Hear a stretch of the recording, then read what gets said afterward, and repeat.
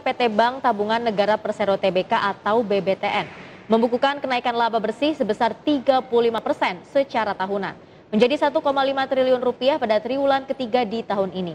Di mana sebelumnya pada September 2020 BBTN mencatatkan laba sebesar 1,19 triliun rupiah. Berdasarkan pengumuman laporan keuangan pada triwulan 3 2021, PT Bank Tabungan Negara Persero Tbk atau BBTN membukukan laba bersih 1,5 triliun rupiah. Raihan laba bersih ini tercatat meningkat 35 persen secara tahunan, di mana sebelumnya pada September 2020 BTN mencatatkan laba sebesar 1,19 triliun rupiah. Perolehan laba BTN didorong oleh pendapatan bunga bersih yang meningkat 30 persen secara tahunan menjadi 8,7 triliun rupiah. Pada kuartal 3 2021 ini BTN telah menyalurkan kredit sebesar 242 miliar rupiah atau tumbuh 4 persen secara tahunan atau tumbuh 4 persen year to date.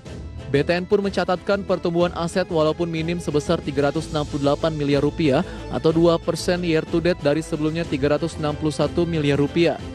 Sementara dana pihak ketiga BTN pun tumbuh 4 persen year to date dari sebelumnya 279 miliar rupiah menjadi 291 miliar rupiah. Dari berbagai sumber, IDX Channel.